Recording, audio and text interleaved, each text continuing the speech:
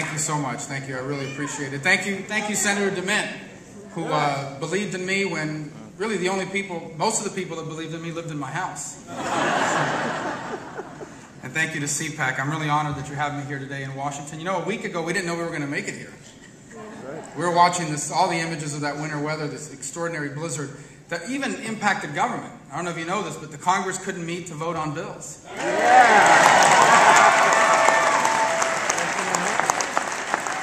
The regulatory agencies couldn't meet to set new regulations either. And the president couldn't find anywhere to set up a teleprompter to announce new taxes. You know, now that I come to think of it, the blizzard may be the best thing to happen to the American economy in 12 months.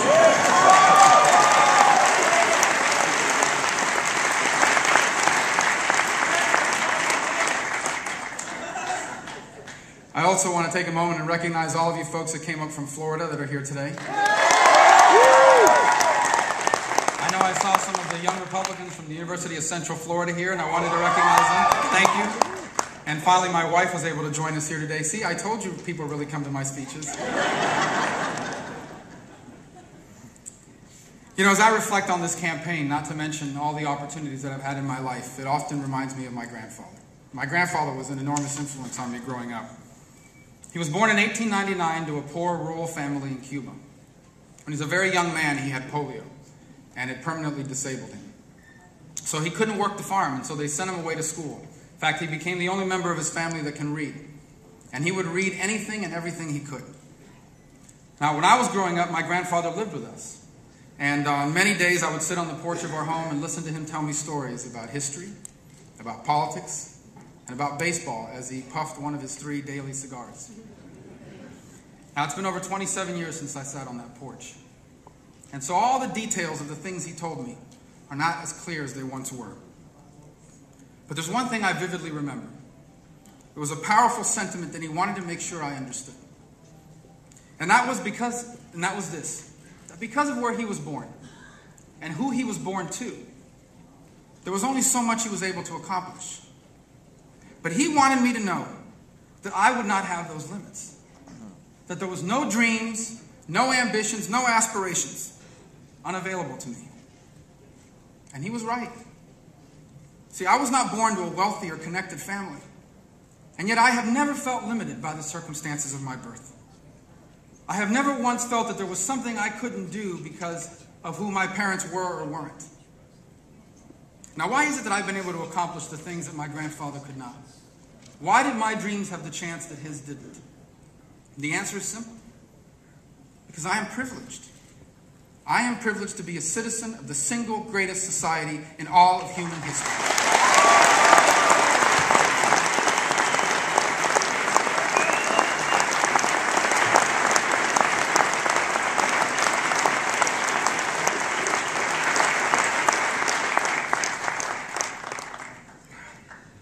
There's never been a nation like the United States, ever. It begins with the principles of our founding documents. Principles that recognize that our rights come from God, not from our government.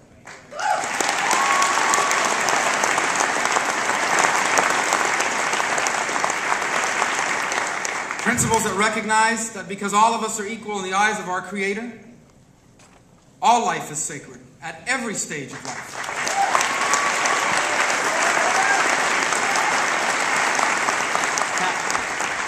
These principles embody a commitment to individual liberty, which has made us the freest people in history. They also made possible our free enterprise economy, which have made us the most prosperous people in history. The result is in America, where, which is the only place in the world where it doesn't matter who your parents were or where you came from. You can be anything you are willing to work hard to be. The result is the only economy in the world where poor people with a better idea and a strong work ethic can compete and succeed against rich people in the marketplace and competition. And the result is the most reliable defender of freedom in the history of the world. Simply put, there's nothing like America in all the world. And even today, with the problems that we face, who would you rather be? Which country would you trade places with? Just remember and ask yourself When was the last time that you heard news accounts about a boatload of American refugees arriving on the shores of another country?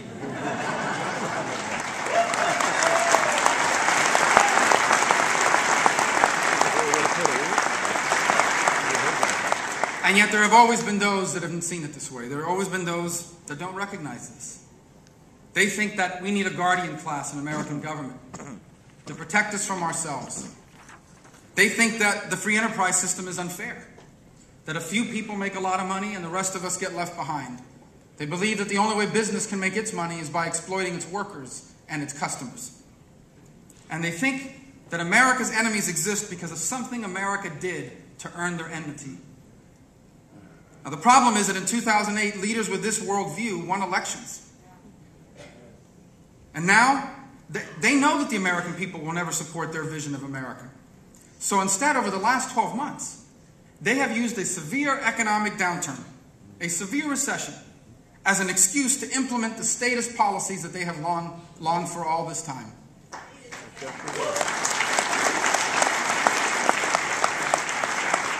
In essence, they are using this downturn as cover, not to fix America, but to try to change America. To fundamentally, to fundamentally redefine the role of government in our lives and the role of America in the world. And let's remember this the expansion of government at home has implications abroad for our country. You know, this growth in our government is being funded by borrowed money. And almost half this money is held in foreign countries. In fact, one of them, China, every time we say something they don't agree with, they remind us of that. The good news is that it didn't take long for the American people to figure all this out.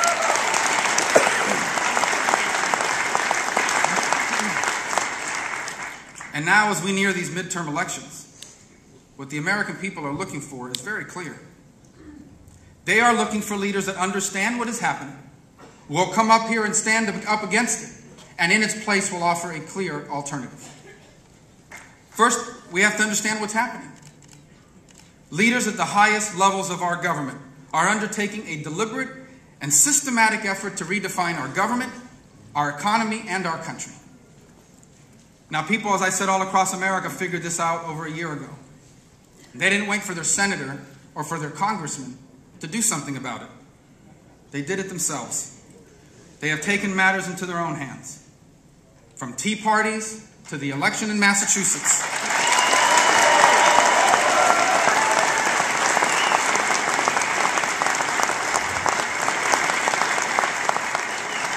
From tea parties to the election in Massachusetts, we are witnessing the single greatest political pushback in American history.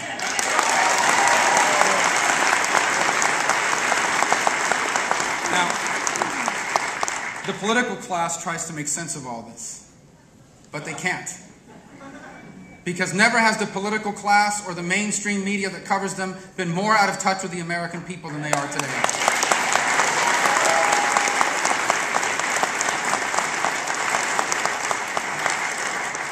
You see, 2010 is not just a choice between Republicans and Democrats.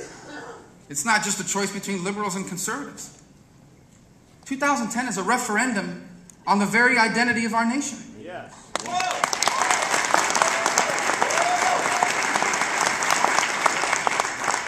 And the issues are so big, so consequential, so generational, that many of the old rules of political engagement will not apply. For example, a long list of early establishment endorsements will not spare you a primary.